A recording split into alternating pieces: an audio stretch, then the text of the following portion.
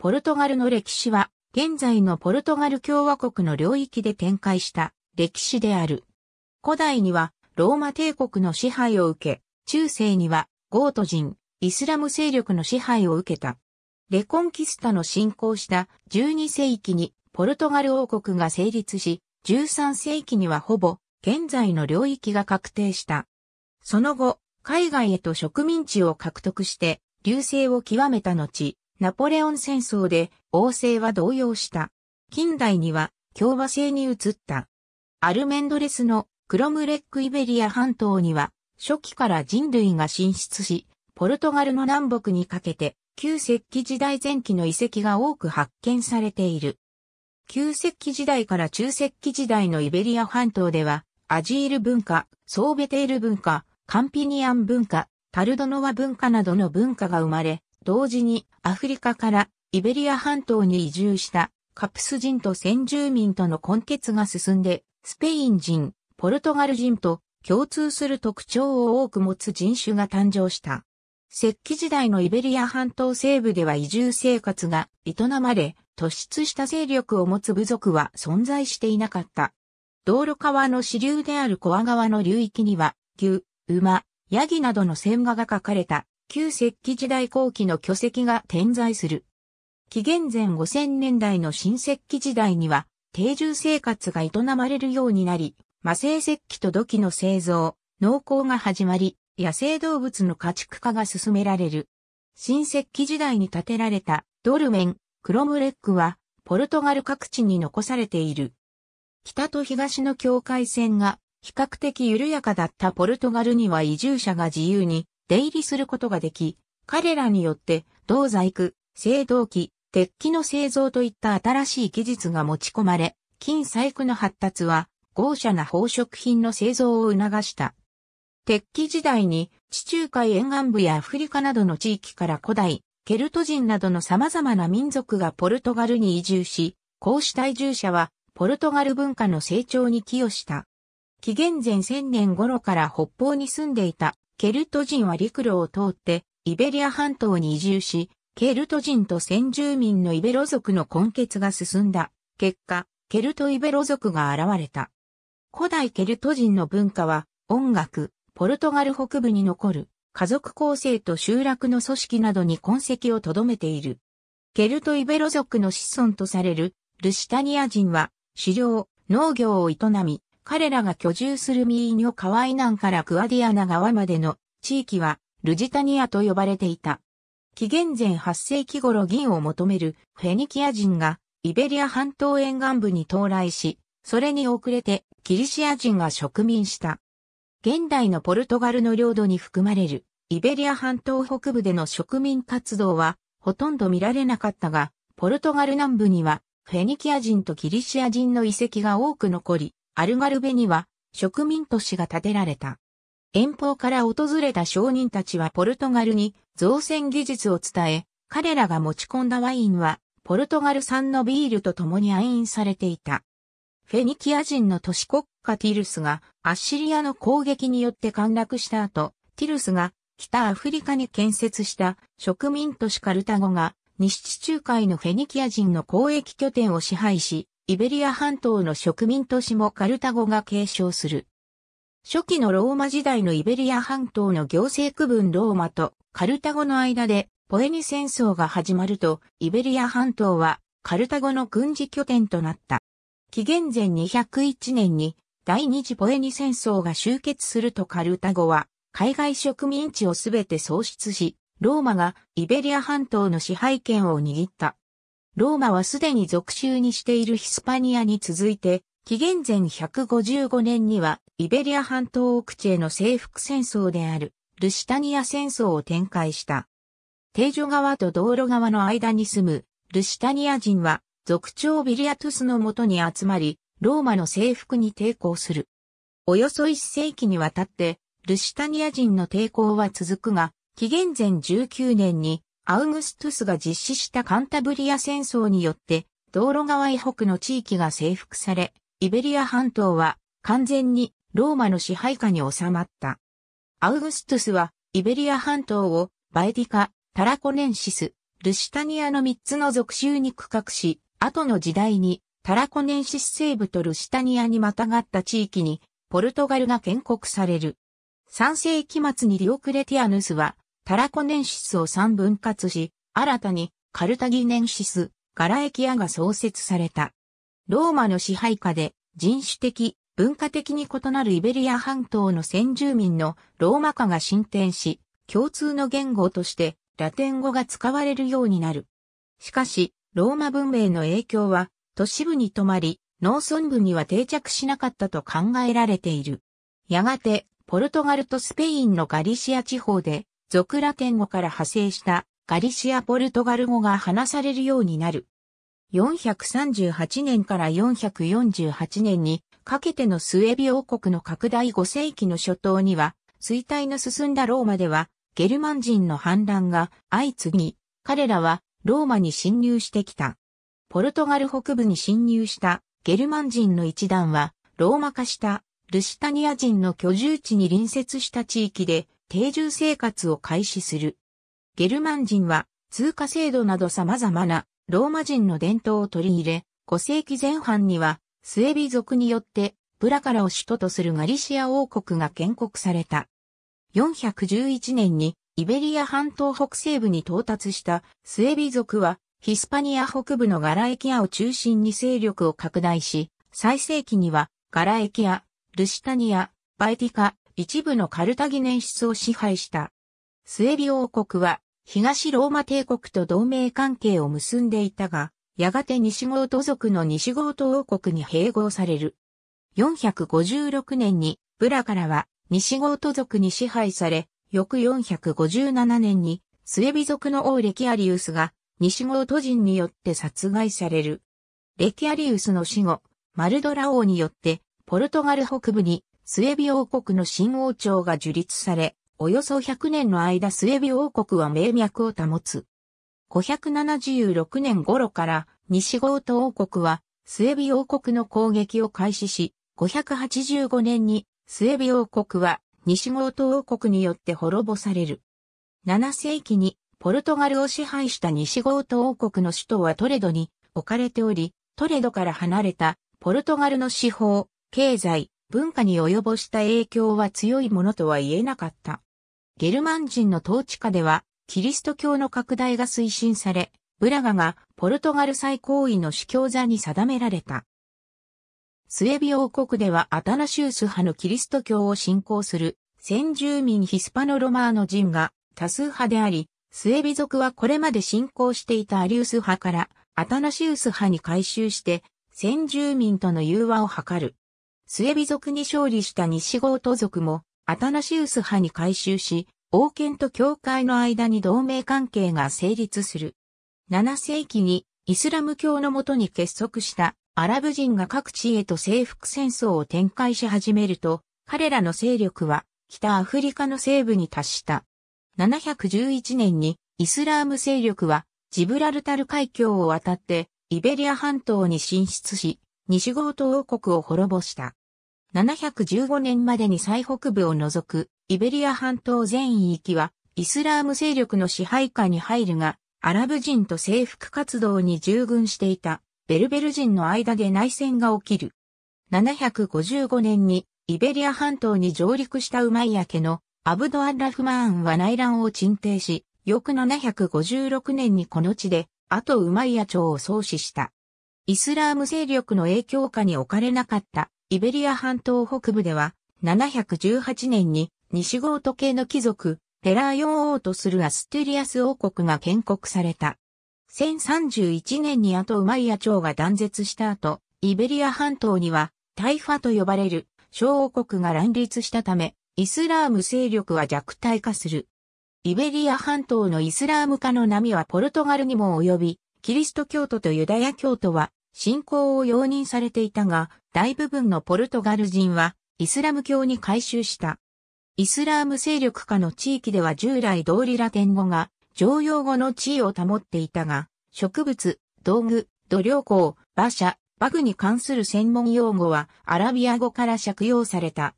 ポルトガルの科学と文化の発展には、イスラーム世界の学者が大きな役割を果たしている。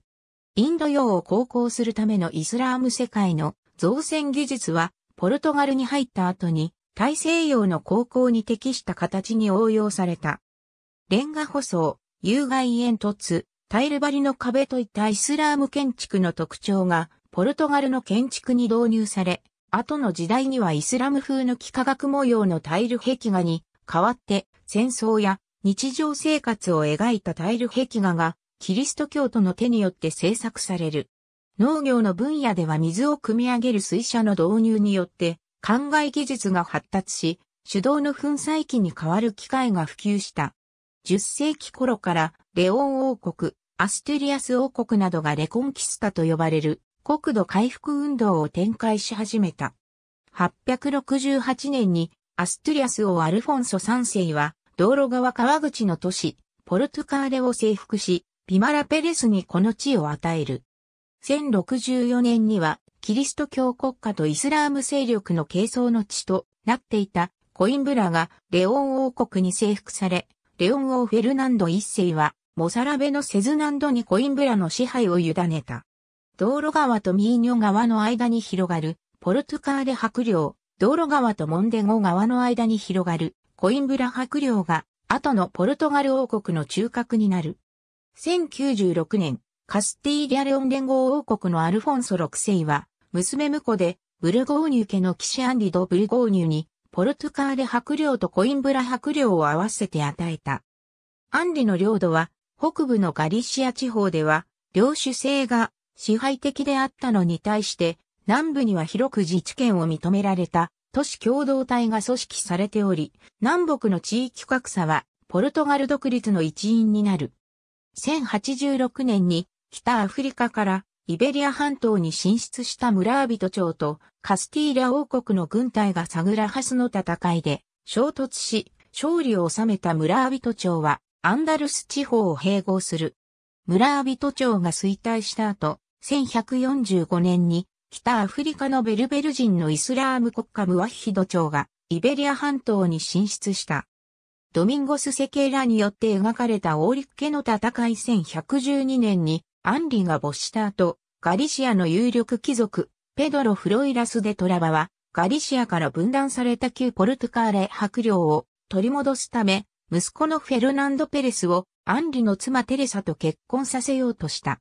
ガリシアの伸長を危惧するポルトカーレの貴族、聖職者は、アンリの子、アホンソ・エンリケスを旗頭として、テレサに反乱を起こした。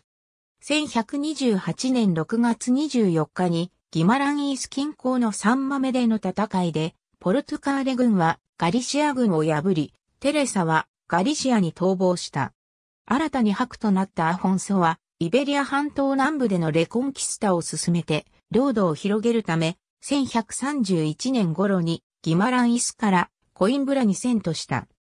1137年にアフォンソはカスティーリャレオン皇帝アルフォンソ7世とトゥイ条約を締結し、アルフォンソ7世への臣従と引き換えに、ポルトガル北部の国境を取り決めた。1139年のオーリッケの戦いで、村人町に勝利を収めたアフォンソは、南部に勢力を広げ、同時にガリシアに侵入してアルフォンソ7世に王位の承認を要求した。1143年に締結されたサモーラ条約によって、アフォンソの侵入を条件として王号が認められ、アフォンソ一世を創始者とするブルゴーニュ王朝ポルトガル王国が創始された。アフォンソ一世は、サボイア伯家、フランドル伯家と婚姻関係を結び、ローマ教皇への従属を誓って外交関係を構築した。1147年にサンタレンを征服し、パレスチナに向かう途上でポルトに寄港した十字軍兵士の支援を受けて、リスボンを征服する。1179年に、教皇庁によって、ポルトガル王位が承認される。1211年のナバスデトロサの戦いで、キリスト教勢力は、ムワッヒド朝に勝利し、レコンキスタは、急速に進展する。アフォンソ一世の死後、王権の強化を推進する国王とそれに反発する貴族、聖職者の間に対立が起きる。1245年に三州二世がローマ教皇によって廃位された後、新たに王位についたアフォンソ3世は、ポルトガルの秩序の回復に努めた。1249年に、アフォンソ3世は、アルガルベ東部のファロとシルベスをイスラーム勢力から奪回し、ポルトガル内のレコンキスタを完了させる。1254年にはこれまで貴族と聖職者のみが参加していたコルテスに平民の代表の参加が認められた。翌1255年、コインブラに代わってリスボンがポルトガル王国の首都機能を持ち始める。ディニス一世の治世にポルトガル王権の強化、経済活動は最盛期を迎える。国内外の貿易活動が活性化し、特にフランドル地方、イギリス、フランスを相手とする交易が盛んに行われていた。リスボン、ポルトの商人が海上貿易において主要な役割を果たし、立地と良好に恵まれたリスボンは、ポルトガル南北地域の統合と経済活動の中心地となる。レコンキスタの達成によって、地中海の自由な航行が可能になると、イタリアの商人がポルトガルに進出するようになるが、特にジェノバの商人は商業と航海技術に大きな影響を与え、1317年にジェノバ人マヌエル・ペサーニャによってポルトガルに海軍が創設される。1312年にテンプル騎士団が廃止された後、ディニスは1317年にキリスト騎士団を新設して、ポルトガル国内のテンプル騎士団の財産を移管し、富の国外への流出を未然に防いだ。また、1290年には、コインブラ大学の前身となる法学者の養成を兼ねた学校がリスボンに開設される。レコンキスタの進展に伴って道路側へ北で話されていたガリシア・ポルトガル語が定女外南のルシタニアムデハル語と融合し、ガリシア・ポルトガル語から分化したポルトガル語が成立する。ディニス一世による公文書のラテン語からポルトガル語への転換、南フランスで活躍していたトルバドゥールの活動は、ポルトガル語の確立に大きな役割を果たした。1340年代にヨーロッパ、北、アフリカを襲った黒死病は1348年秋にポルトガルでも流行し、ポルトガルの人口のおよそ3分の1が減少したと推定されている。黒死病の流行は農業労働力の減少をもたらし、歳入の減少と貴金属の不足に対する応急、処置として悪化が鋳造されたため、都市化村民の生活に大きな負担がのしかかった。農村人口の減少と移動への対処として1349年から農民を土地に拘束する強制就労法が施行され、その中でも1375年のセズマリア法は有名であるが、十分な成果は上がらなかった。ポルトガル王フェルナンド一世は、カスティーリアの王位継承権を主張して3度の軍事行動を実施するが、ポルトガルの大敗に終わる。和訳によって、フェルナンド一世の唯一の子供である王女ベアトリスは、カスティーリャオフアン一世と結婚したため、ポルトガルがカスティーリャに併合される可能性が現れる。戦争の敗北に加えて、教会大分裂も国内の混乱を悪化させ、聖職者と一般の信徒は二つの立場に分かれて対立する。1383年にフェルナンド一世が没した後、カスティーリアに嫁いでいた王女ベアトリスが、ポルトガル王位につき、ベアトリスの母レオノールが摂政となる。ハンレオノール派は、ペドロ一世のアビス騎士団長、ドンジョアンを担ぎ出し、ポルトガルは大貴族を中心とするレオノール派と、中小貴族、ブルジョアジーを中心とするジョアン派に二分された。レオノールは、カスティーリアに援軍を要請し、1384年2月に、リスボンはカスティーリャ軍の包囲を受ける。リスボン市民はジョアンを王国の統治者、防衛者に選出して、カスティーリャの攻勢に抵抗し、ジョアン派はリスボンの防衛に成功する。1385年4月にコインブラで開催されたコルテスでジョアンはポルトガル王に選出され、彼を創始者とするアビス王朝が成立した。同年8月のアルジュバロータの戦いで、ポルトガル軍はカスティーリャ軍に勝利し、国家の独立を守り抜いた。エンリケ公海王子1415年にドゥアルテ、ドンペドロ、ドンエンリケラ・ジョアン一世の王子たちが、モロッコの港町、セウタを占領し、ポルトガルの海外進出が始まった。1419年からエンリケ公海王子による西アフリカ探検が開始され、カナリア諸島、アゾレス諸島、マデーラ島などの大西洋の島々の発見と植民が行われた。1434年にポルトガルが派遣した探検家ジルエアネスはボジャドール岬に到達した頃から探検事業は急速に進展し、キャラベル船の導入など航海技術も向上を見せる。西アフリカではポルトガルとカスティーリアの競争が激化するが、1479年に締結されたアルカソバス条約によってポルトガルはカナリア諸島を除く大西洋の島々とベルデ岬以南の西アフリカの沿岸部を確保した。ポルトガルによってアルギン、サンジョルジェダミナに設置された拠点からは金の他に奴隷も出荷され、1450年から1500年までの間におよそ15万人の奴隷がポルトガル人によって送り出されたと言われている。バスコダガマの自責を称えて希望峰に建てられた記念碑1486年にベニン王国にたどり着いた探検家アフォンソ・アベイロはアフリカ奥地にオガネーというキリスト教国が存在する情報をリスボンの宮廷にもたらした。オガネーがプレステジョアンの国と考えた国王ジョアン2世は陸路と海路の両方に捜索隊を派遣し、戦団の指揮を命じられたバルトロメウディアスはアフリカ大陸沿岸を南下し、1488年1月に希望峰に到達する。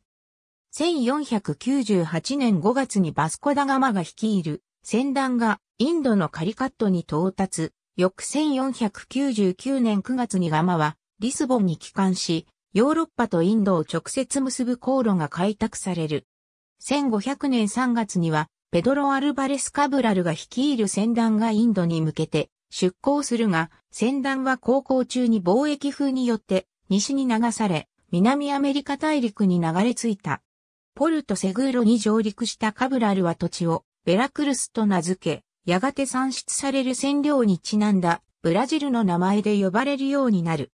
アジアに進出したポルトガルは、領土の獲得ではなく、要塞、商館の建設という手段で、商業網の確保に乗り出した。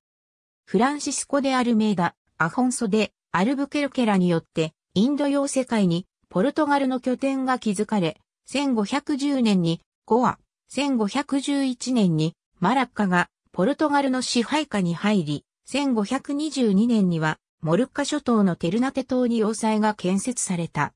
アラビア半島、ペルシア湾方面では、アデンの攻略に失敗したものの、1503年にソコトラ島に要塞を建設して、航海に睨みを利かせた。1515年にペルシア湾の都市ホルムズを征服したポルトガルは、工業交易を一手に収める。ポルトガル人は、アジア内の貿易にも積極的に介入し、1557年にアカラ、マカオを咀嚼した後、中国のキートと金、日本の銀を扱う中継貿易で大きな利益を上げた。従来は、ベネツィア共和国の商人がイスラム商人を通してアジアで生産された胡椒を輸入し、ヨーロッパで独占的に販売していたが、新航路の開拓によって状況は一変する。香料の流入が遮断されたため、15世紀末までヨーロッパの香料貿易を独占していたベネツィア商人は打撃を受ける。ヨーロッパアジア間の香料貿易はリスボンに置かれたインド商務員によって統括され、1518年から1519年にかけては海外収入が国家歳入の63%を占めていた。他方で、ブラジルには占領以外に有望な資源がない報告を受け取ったマヌエル一世はインドの香料交易に力を入れ、1502年にフェルナンデ・ロローニャの商人団にブラジルの開発を委任する。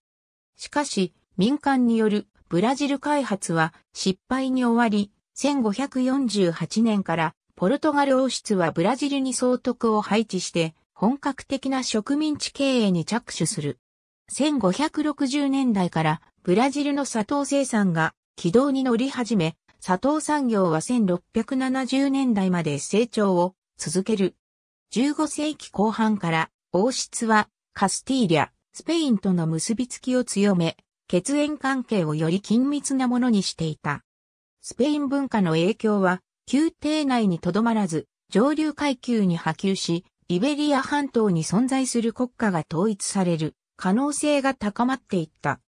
マヌエル一世の知性には、イタリアの都市国家やイギリスなど他国の海外交易に参入し、貴族たちは王家間の婚姻関係を軸にイベリア半島を統一する方法を模索していた。メキシコとペルーに民山を抱え、メキシコ、フィリピン、中国を結ぶ航路を開拓したスペインは、交易路の拡大を望むポルトガルの商人にとって魅力的な市場になっていた。ポルトガルとカスティーリャ、そしてスペインは相互に文化的影響を与え合い、ポルトガル語とスペイン語両方の言語で作品を残した作家が多く現れた。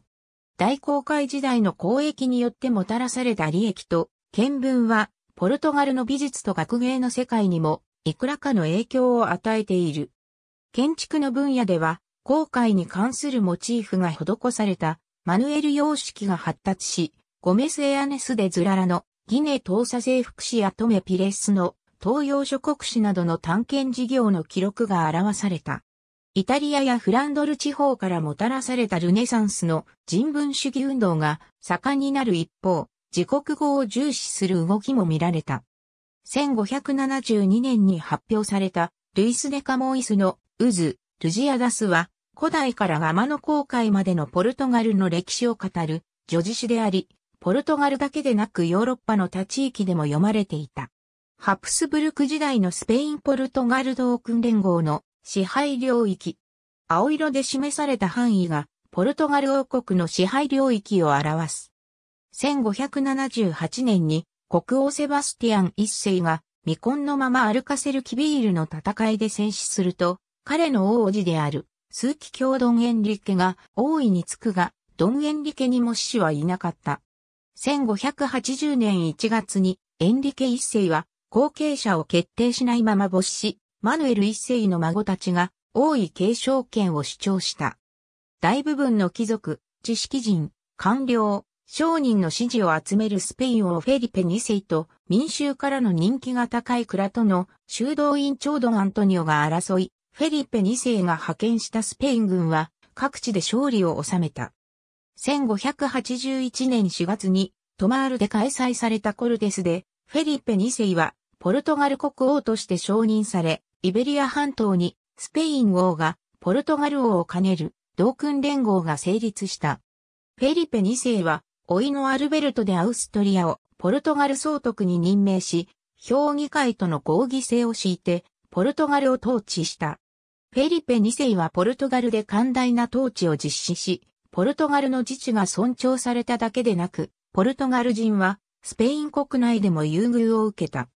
ポルトガルは宮廷の維持費の負担から解放され、スペインとの間に設けられた国境税関の廃止、新大陸のスペイン領への進出によって商人は大きな恩恵を受ける。この結果ポルトガル経済は回復し、植民地の経営状態も良化する。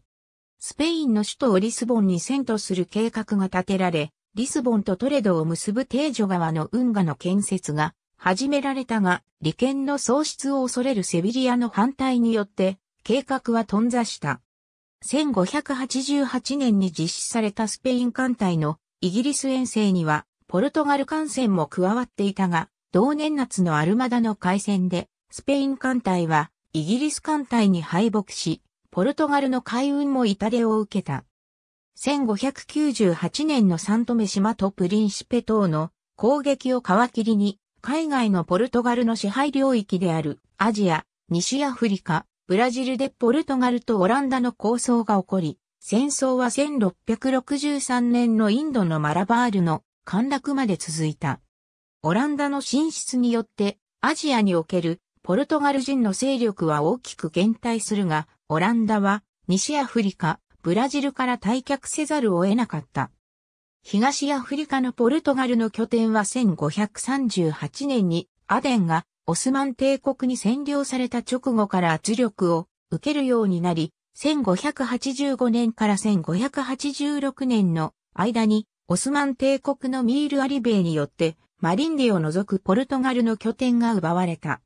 ポルトガルは敵対的なスワヒリ都市のモンバサとオスマン帝国の連携を阻止するため、1592年にマリンディと連合してモンバサを攻撃した。モンバサを占領したポルトガルは島にフォートジーザスを建設し、この地を拠点として半世紀ほど東アフリカでの軍事的優位を保つ。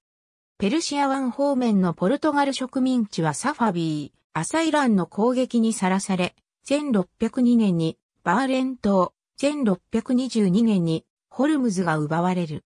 フェリペ3世の時代から次第にポルトガルの自治は遵守されなくなり、総督、評議会の人員にスペイン人が任命されるようになり、1611年には借款という名目の増税が実施される。1610年代から新大陸から輸出される銀の量が減少しただけでなく、スペインにはオランダ30年戦争で対立するフランスとの構想のために多額の戦費がのしかかっていた。フェリペ4世の最小であるオリバーレス伯爵がスパールでグスマンは、カスティーリアの財政負担を和らげるため、スペイン王国を構成するポルトガルとカタルーニャに与えられていた特権を廃止、カスティーリアを中核とする中央集権化を試みた。スペインの抑圧が強くなるにつれて、民衆の間にスペイン支配に対する反感と生存していたセバスティアン一世がポルトガルを解放する救世主信仰が湧き上がる。1637年にエボラで増税に反発した民衆は反乱を起こし、暴動の影響はアレンテージョとアルガルベにも及んだ。また、民衆だけでなく、貴族層もカスティーリャ中心の政策とコルテスの決議を経ない増税に対して不満を抱いていた。1640年6月にカタルーニャの住民が暴動を起こしてスペインから派遣された副王を殺害し、カタルーニャ自治行政府はフランスと協定を結んでカスティーリャからの反撃に備えた。ポルトガルに生まれつつあった反カスティーリャ運動を事前に阻止するため、オリバーレス伯はポルトガルの貴族にカタルーニャ遠征への従軍を命じた。1640年12月に40人の貴族と知識人がリスボンの王宮を襲撃し、副王マルガリーガを逮捕した。国王に衰退されたブラガンサ公ドンジョアンはジョアン4世として即位し、ブラガンサ王朝を創始した。ジョアン4世の知性は、スペインとの戦争に備えた、軍事力の増強、軍費の捻出に費やされた。ジョアン4世は、王権の行使に慎重な立場を取り、政務の大部分を貴族と高級官僚に委ね、自身は彼らの監督役となった。当初国王の権力は、顧問会議によって制限を受けていたが、やがて顧問会議の力は弱まり、国王から信任を受けた少数の秘書官や長身が国政を掌握するようになった。ブラガンサ王朝成立の前後にポルトガルはインド洋世界の植民地の大部分を喪失し、1641年にマラッカ、1644年1656年にセイロン、1658年にキロン、1660年にネガパタンが陥落した。アラビア半島の沿岸部ではソハールなどの拠点がオマーンで勃興したヤーリバ朝の攻撃を受け、1650年のマスカットの陥落によってオマーンからポルトガル勢力は駆逐された。東アフリカの拠点であるモンバサでは1631年にポルトガルの支配に反発した住民が放棄を起こし、反乱は他のスワヒリ都市に飛び火するが、長らくの間決着はつかなかった。オマーンの艦隊がスワヒリ都市の要請を受けて出撃し、戦争に敗れたポルトガルは1698年にスワヒリ海岸から撤退し、植民地支配の拠点をモザンビークに移した。ポルトガルは再独立を宣言したものの、大部分の貴族と高位聖職者、異端審問書はスペインを支持していた。ジョアン4世は、スペインと敵対する勢力に援助を仰ごうと試みるが、イギリス、オランダは、ポルトガルと対立し、フランスからは支援を得られなかった。教皇庁とポルトガルの関係は良好とは言い難く、教皇庁はスペインからの分離独立の嘆願を拒み続けていた。ポルトガルからの空白になっていた司教区の司教確認の要請は退けられ、再独立が達成された時点で本国と植民地に存在する28の司教区のうち20が司教不在の状況に置かれていた。ジョアン4世はブラジルとアンゴラの支配権の回復には成功したが、スペインの同意を得ない独立宣言をヨーロッパ諸国に承認させることができないまま没した。ジョアン4世の死後、摂政となった王ヒルイサはイギリスに支援を求める。1661年にポルトガルとイギリスは友好条約を締結し、王女カタリーナとイングランド王太子、チャールズの結婚が取り決められたが、その代償としてポルトガルは200万クルザードを支払い、タンジールとボンベイをイギリスに割譲しなければならなかった。イギリスの援助はポルトガルの再独立を支える原動力の一つとなるが、イギリスは援助の見返りとして、ポルトガル本国と植民地での商業上の特権を獲得し、ポルトガルはイギリスに対して従属的な立場を取るようになる。1662年にイギリスに接近する政策に反発する一派のクーデターによって、ルイサは失脚し、国王アフォンソ6世に代わって、カステロメリョール伯ルイスが国政を動かした。1665年のモンテスクラロスの戦いで、ポルトガルはスペインに決定的な勝利を収めるが、カステロメリョール伯は、王帝ペドロを要するカダバル公爵の一派に敗れて、失脚する。1668年にスペインは、ブラガンサ王朝の正当性を認めてポルトガルは、再独立を達成し、セウタを除く植民地が復帰する。1683年にアゾレス諸島に流されたアフォンソ6世が没すると、摂政を務めていたペドロが王位を継承した。これまでポルトガル経済を支えていたブラジルの砂糖生産は1670年代から衰退し、また富裕層によるイギリスの毛織物、フランス、イタリアの贅沢品の輸入量の増加によって、ポルトガルの経済状況は悪化する。1675年に財政長官のエリセーラ博は、フランスのコルベールの重症主義政策に倣った財政改革を実施し、フランスやイギリスの熟練校の招聘、繊維工場の開設、拡張を行うとともに、国産品保護のため輸入品の使用を禁止する法令を発布した。しかし、カダバル公爵やアレグレッテ、公爵などのイギリスへのワインの輸出を求める勢力は、イギリス製品の締め出しを望まず、ブラジルからの金の流入量が増加すると、工業界の熱意は失われてゆく。そして、金の流入によって貿易赤字が解消された後、人々は粗悪な国産品ではなく、法律を犯して輸入品を買い求めるようになった。1690年にエリセーラ博は自殺し、ポルトガル経済が不況から脱すると工業化は頓挫する。ジョアン5世はブラジルの金によって得た経済力をもとに、これまで国政に深く関わってきた大貴族を排除し、絶対王政の確立を施行した。金は王室に多大な収入をもたらしたために、コルテスを召集する必要性は薄れ、ポルトガル革命後の1822年まで開催されない状況が続くことになる。しかし、貴族、聖職者、都市、異端審問所が持つ伝統的な特権と習慣に介入することはできず、国王が行使できる権力には制約がかけられていた。ジョアン5世は国家の威信の回復を図って対外戦争に参戦し、スペイン継承戦争ではオーストリア、イギリス、オランダに組みし、1713年のユトレヒト条約でラプラタ川北岸のサクラメントを獲得する。1750年にスペインとの間で締結されたマドリード条約で、ポルトガルはサクラメントの活場と引き換えにトルデシラス条約で取り決められた境界線を越えて西に広がっていた土地の領有権を認めさせ、ブラジルの境界線がほぼ確定する。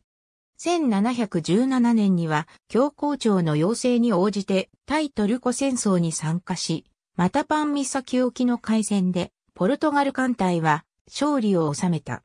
戦争での活躍、騎士によって、リスボン大司教は、教皇庁から総大司教区と枢機卿の称号を付与され、多額の資金を投入して総大司教座協会が建立される。スペイン継承戦争後、ポルトガルはヨーロッパ諸国の係争に対して積極的に関与せず、中立的な立場を取り、50年近い安定を享受することができた。16世紀半ばからポルトガルの学芸は国家と教会の監視によって衰退し、また連合王国の成立に伴う宮廷の消滅もあって、ポルトガルの文化の発展は停滞していた。こうした状況下でブラジルから流入した金は建築の分野にカビがバロック様式をもたらし、金霊木彫とエタイルによって飾られた建築物が現れた。大地震と津波の被害を被ったリスボン・ジョアン5世の死後に即位したジョゼ1世は、啓蒙主義者のセバスティアン・デ・カルバーリョを起用し、上からの近代化を推進する。1755年11月1日にポルトガル南西部で大地震が発生し、震源地に近いリスボンは多大な被害を受け、建築物、美術品、書籍などが失われる。震災の事後処理に活躍したポンバル公はリスボン市街地の再建を進め、ジョゼ一世からの信頼を勝ち取った。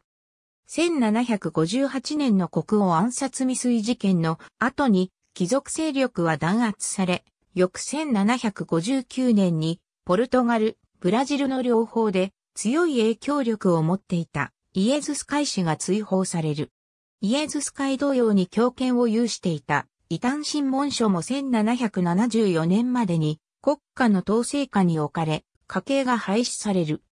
イエズス会氏の追放を契機に、ジョアン5世の知性からの課題となっていた教育改革が実施され、イエズス会によって運営されていたエボラ大学は閉鎖され、1772年にはコインブラ大学のカリキュラムと組織が2世紀半ぶりに再編された。初等、中等教育には学生が導入され、自国語の教育を強化した結果中間層の識字率が向上する。身分の平準化も進展し、1760年にはポルトガル本国の奴隷制が廃止され、1773年には異端審問書によって設けられていた新キリスト教徒と旧キリスト教徒の区別が廃止される。1777年にジョゼ一世が没した後ポンバルコは失脚するが、彼が取った重症主義政策は継承された。ポンバルコーによって育成されたポルトガルのマニファクチャーは成長し、アメリカ独立戦争とフランス革命の影響を受けてブラジルからの輸出品の価格は高騰し、1807年のフランス軍の侵入までポルトガルの公共は続いた。しかし、ブラジルではマニュファクチュアが廃止されたために、現地の繊維産業と製鉄業は打撃を受け、1780年代から金の産出量が減少したために失業者が増加し、社会の緊張は高まっていた。ブラジルのポルトガル本国からの搾取に対する不満が高まり、1789年のミナスの陰謀、1798年のバイーヤの陰謀といった本国からの独立を図る反乱が企てられた。その一方で、ポルトガル宮廷にはスペインからの脅威を避けるため、恵まれた富を有するブラジルへの銭湯を提案する意見があり、ブラジルの支配者層も利権を維持しつつ、植民地条例からの脱却を求める裁量の方法として、宮廷の移転を望んでいた。1801年にポルトガルはフランスと同盟したスペイン軍の攻撃を受けて大敗し、スペインにオリベンサを割譲し、賠償金を支払わなければならなかった。ヨーロッパで勢力を拡大するフランスのナポレオン・ボナパルトに対してポルトガルは中立を表明していたものの、1806年にフランスからイギリスとの友好関係の破棄を通告される。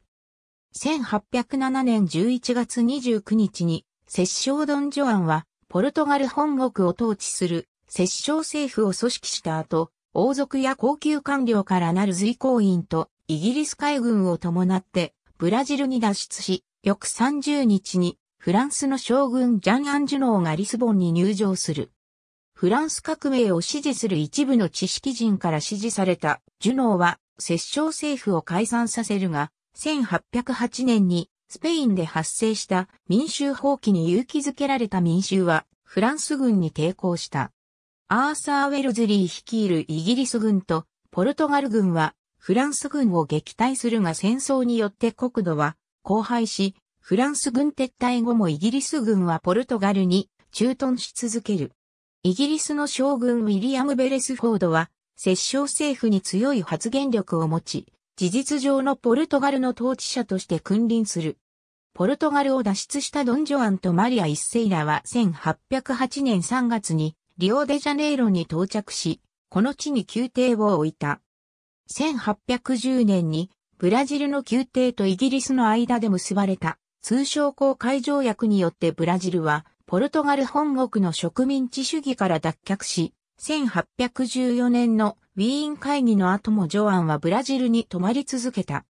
ジョアンはウィーン会議で採用されたウィーン体制に合わせるために、ブラジルを植民地から王国に昇格させ、1815年12月にポルトガルブラジル及びアルガルベ連合王国が成立した。1816年のマリア一世の死後、ジョアンが王位を継承し、ジョアン6世として即位する。ブラジルに移った王室と貴族は、本国からの時代を受け取る生活を送り、さながら、ブラジルが宗主国のような立場になっていた。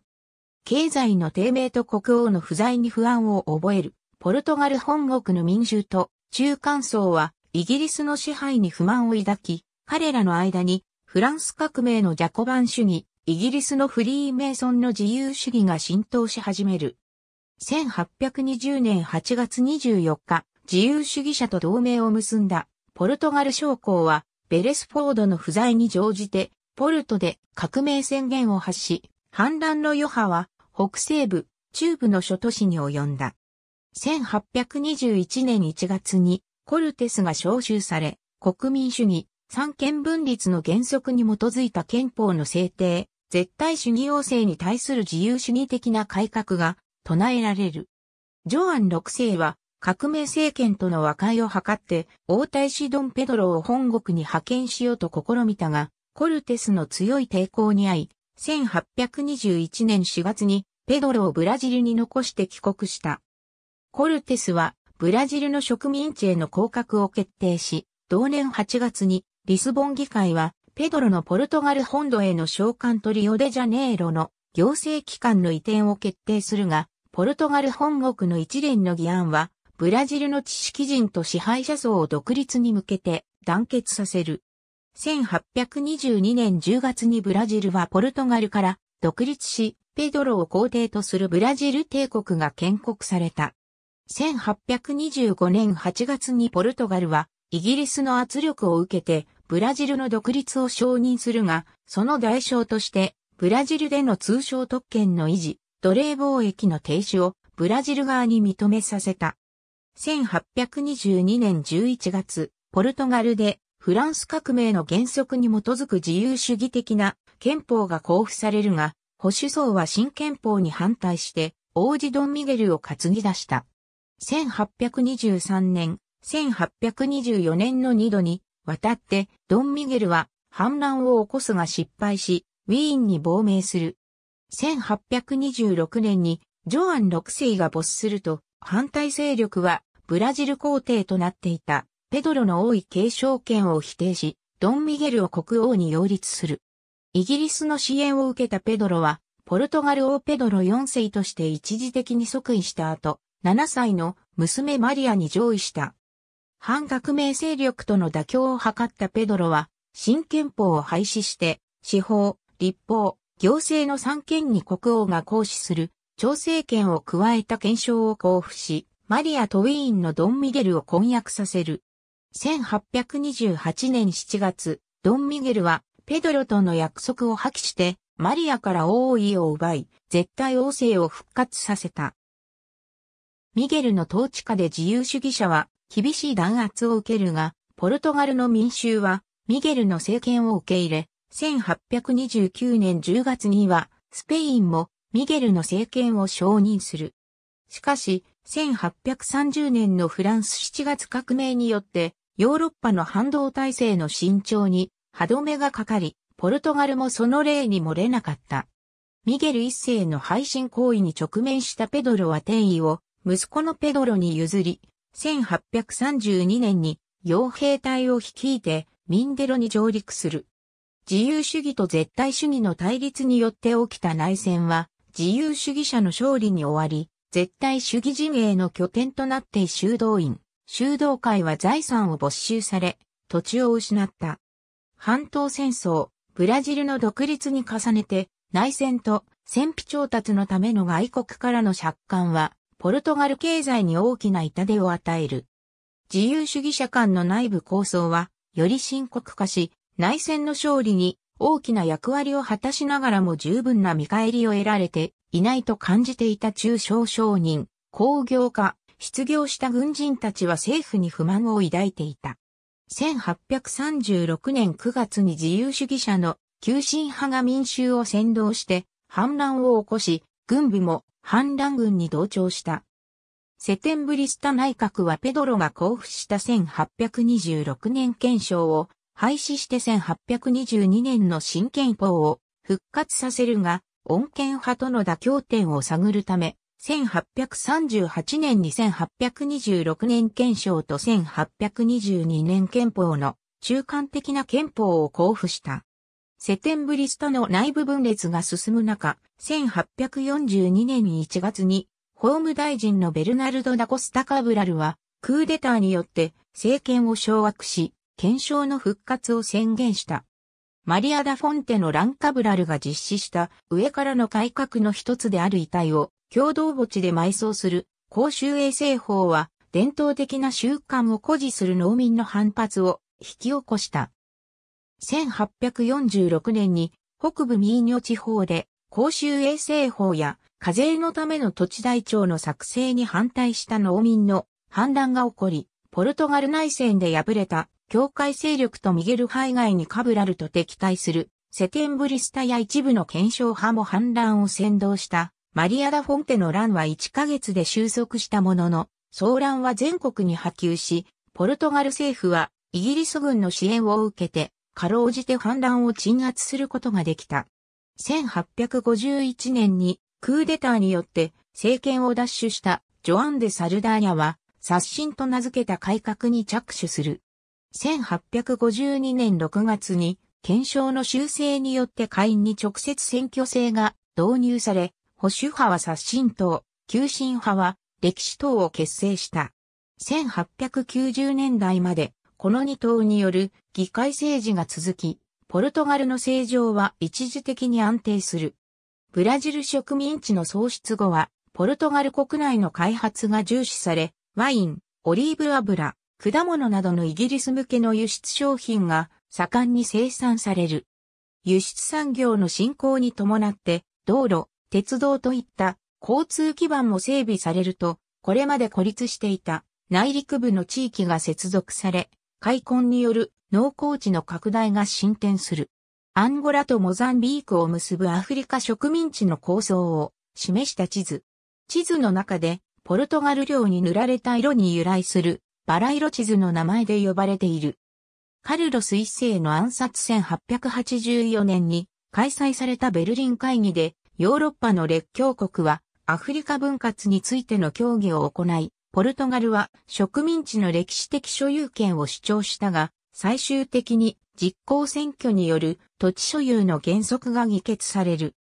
1886年に国会でアンゴラとモザンビークを結ぶ植民地帝国の建設計画が発表され、ドイツとフランスへの根回し、探検隊の派遣による実行選挙が進められた。しかし、ポルトガルの政策は、ケープタウンから北上するイギリスの政策と対立するものであり、1890年1月11日に、イギリスはザンビア、マラウイ、ジンバブエに相当する地域に駐屯していたポルトガル軍の即時撤退を要求した。ポルトガルは当てにしていたドイツの支援を得られず、やむなくザンビア、ジンバブエに相当する地域を放棄するが、世論はイギリスに譲歩する政府の姿勢を非難した。反王政を掲げる共和党も植民地政策を攻撃し、当時ポルトガルで普及し始めた新聞の多くが共和党を支持する立場を取ったため、共和主義は大都市の中産階級の間に広まった。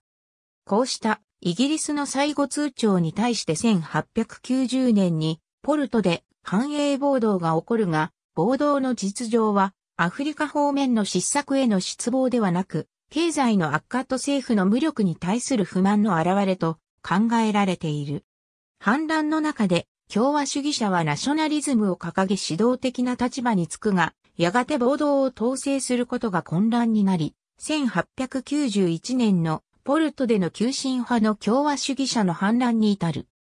そして、17世紀のハプスブルク家の統治下で公用したセバスティアニズムは共和制によってポルトガルが直面するすべての問題が解決される共和主義待望論に形を変えて民衆に浸透していく。1906年に応答派の政党が内部構想によって分裂すると国王カルロス一世はジョアン・フランコに独裁を認めたため反王政運動は激化する。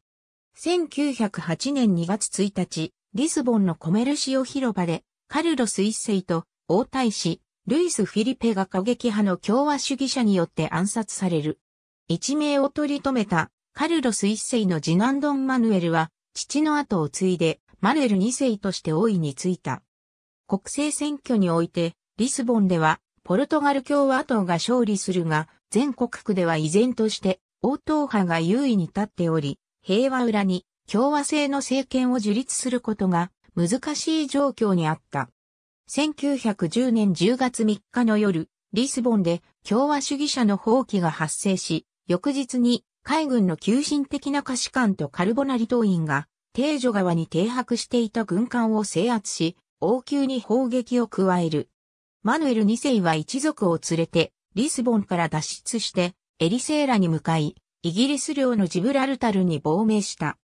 10月5日にリスボン市民の熱狂的な歓迎を受けた共和党指導部は共和制の樹立を宣言し、ブラガンサ王朝は滅亡を迎える。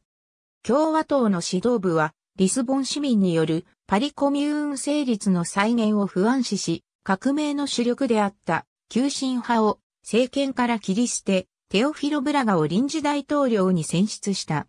革命の翌年にイギリスに亡命したマヌエル2世、第一共和制の下でイエズス会などすべての修道会は廃止され、教会の財産が没収された。1911年に政教分離法が施行され、ポルトガルは教皇庁と断交する。同年5月に実施された政権議会選挙の当選者は公務員、弁護士、医師などの都市部の中産階級で占められており、その結果労働者階級は共和制のブルジョア的性質に反発した。新憲法は8月にブラジルとフランスを模範とする新憲法が交付されたが、憲法の交付直後に共和党は民主党、改進党、統一党に分裂して反目し合ったため、内閣の安定は保たれなかった。1916年に内閣は第一次世界大戦への参戦を決定し、戦地に5万を超える将兵が派遣されたが、戦費の負担は国民生活に重くのしかかる。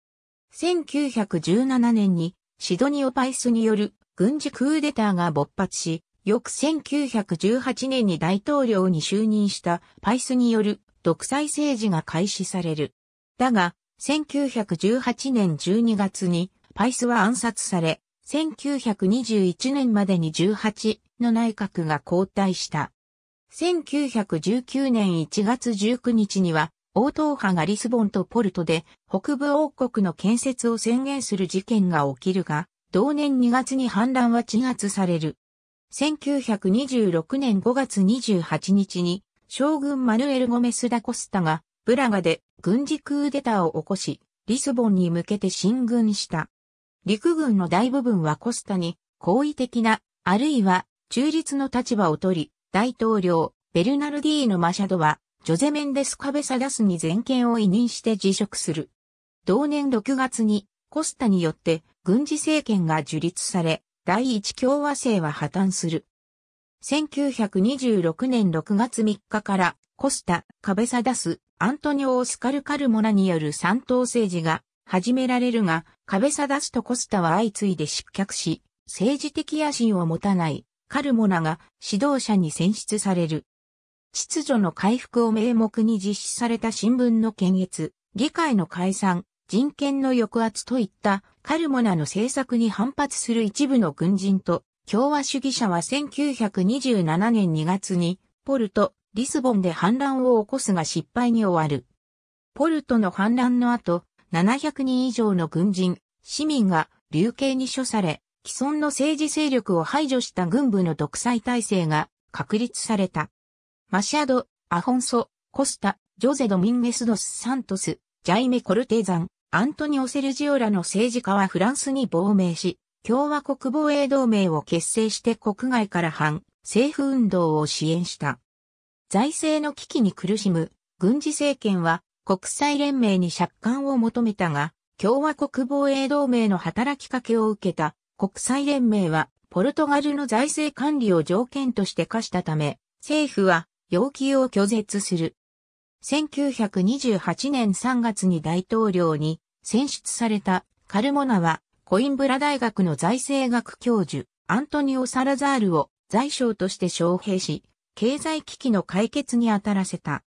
サラザールが実施した増税と歳出の引き締めによる財政の改善は高い評価を受け、1929年7月にアルトゥール・イベンス・フェラスが首相に就任した後もサラザールは現職にとどまった。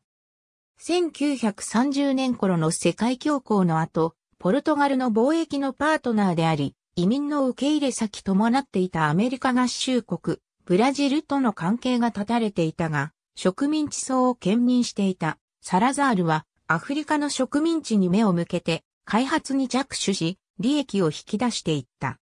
救世主として国民から信任を受けたサラザールは国政全体に指導力を有するようになり、1930年7月にすべては国家のためにお標語として政党の結成を禁止し、非政党組織である国民同盟を結成した。アントニオ・サラザール1932年7月に、サラザールは首相に就任し、ポルトガルの体制は軍事政権から文民政治に移行する。また、同年にイギリスに亡命したマヌエル2世が後継者を残さず、没したため、王政復古への道が閉ざされた。翌1933年にコルポラティビズムに基づく新憲法が交付され、新国家体制が確立された。新憲法の下では、国民投票で選出された大統領は、立憲王政期の国王に被験する権限を有していたがその立場は不安定なものであり、首相であるサラザールが実権を握っていた。1936年のスペイン内乱では、サラザールはスペイン人民戦線の勝利を危惧し、スペイン共和国と断交してフランシスコ・フランコの反乱軍を支援した。スペイン内乱の後にサラザールは、首相、増相、国防相、外相を兼任して権力を集中させ、ファシスト的団体であるポルトガル軍団とポルトガル青年団を結成させて体制の維持を図った。1938年4月にサラザールはフランコの政権を承認し、翌1939年にポルトガルはスペインと相互不可侵条約を締結した。第二次世界大戦では中立を宣言した。数軸国の側に立てば、ポルトガルの植民地はイギリスの攻撃を受けることとなるし、連合国側に立てば、ポルトガル本土が危険にさらされるという判断からだった。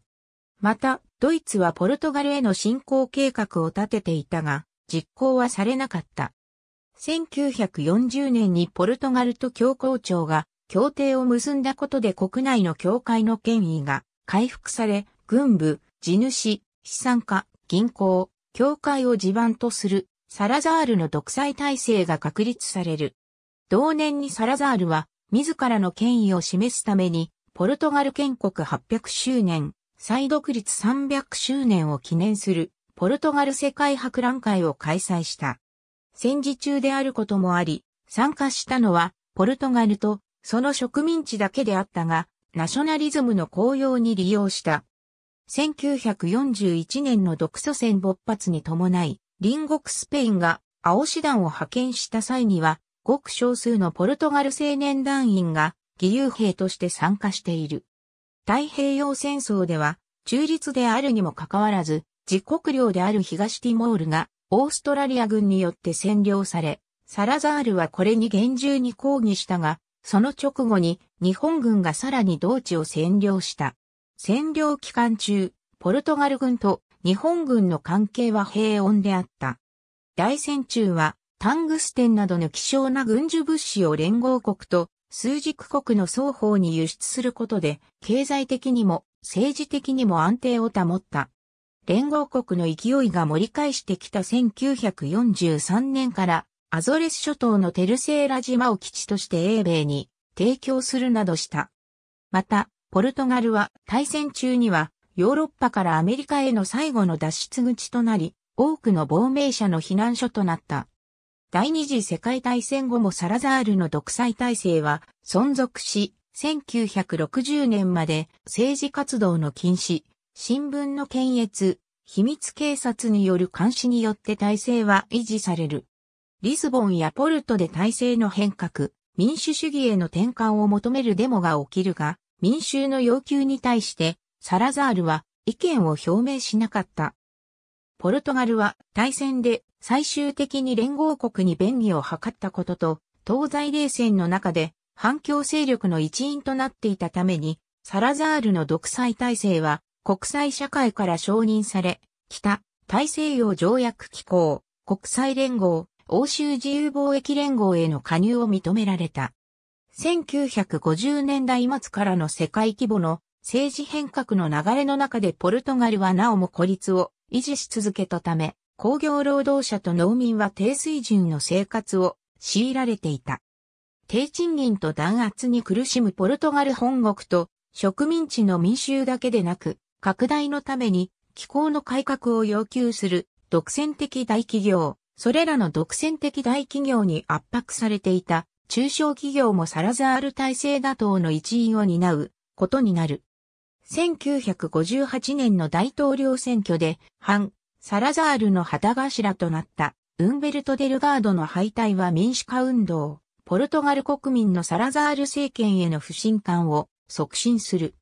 反対勢力の拡大を危惧したサラザールは1961年に大統領選挙を間接選挙に変更し、反体制運動をより厳しく取り締まった。1950年にポルトガルは中華人民共和国と協定を締結してマカオを準植民地とし、マカオは金融業とギャンブルによって繁栄する。独立したインドはポルトガル領のゴアの返還を要求して領内に侵攻。ポルトガル政府はインド側の要求を拒むが、現地の中流部隊はすぐさま、インド軍に降伏し、1961年にインドのポルトガル植民地は消滅する。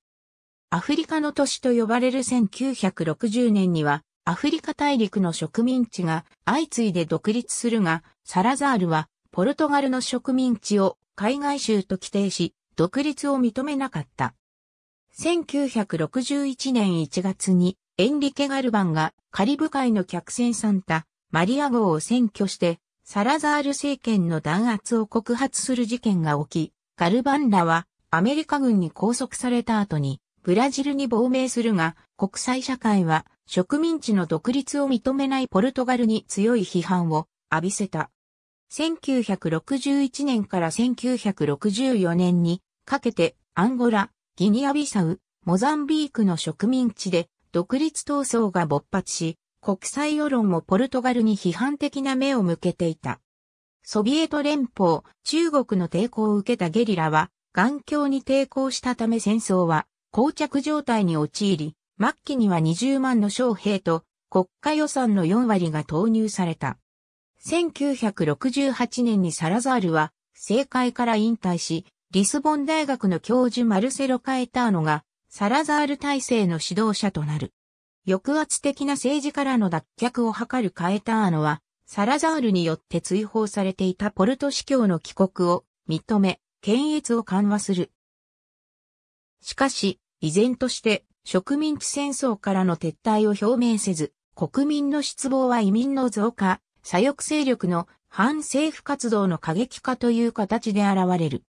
植民地戦争の前線に立つ将校は、マルクス、レーニン、毛沢東の思想の影響を受けて、国軍運動を結成し、植民地の武力弾圧に反対していた、ギニアビサウ総督権総司令官、アントニオ・デスピノラに接近しつつ、クーデターの準備を進めていく。1974年4月25日、植民地戦争に従軍していた青年将校が植民地の独立と民主化を訴えて反乱を起こす。同日の夕刻に変えたのは、スピノラに全権を移譲し、翌日の朝に大統領アメリコ・トマスと共にマデーラ諸島に移送される。将校たちの無血革命によってサラザール政権は打倒され、5月15日に臨時大統領に就任したスピノラによって挙国一致内閣が結成された。スピノラと国軍運動を指導する青年将校たちは植民地問題をめぐって対立し、戦争に勝利した将校たちは直ちに植民地を独立させる。1975年3月に革命評議会が創設され、共産党と連携した政府は、基幹産業の国有化と農地改革を実施する。急速な共産主義への系統は国民の不安を煽り、同時にポルトガル経済は危機的な状況に陥った。混乱の中で国軍運動内の穏健派は社会党を結託して実権を握り、以降国軍は政界での力を失っていく。1976年2月、軍政から民政への移行が決定する。1975年以降モザンビーク、アンゴラなどアフリカの植民地が次々に独立。植民地支配を基盤とした海上帝国としてのポルトガルの体制は終わりを迎えようとし、ヨーロッパへの回帰が進められた。1986年には欧州共同体に加盟。さらに1987年にソアレス大統領とシルバ首相による中道左派政権が誕生し、堅調な経済政策を敷いた。この年には中華人民共和国との協議でマカオの返還が決定し、1999年にマカオが中国に返還された。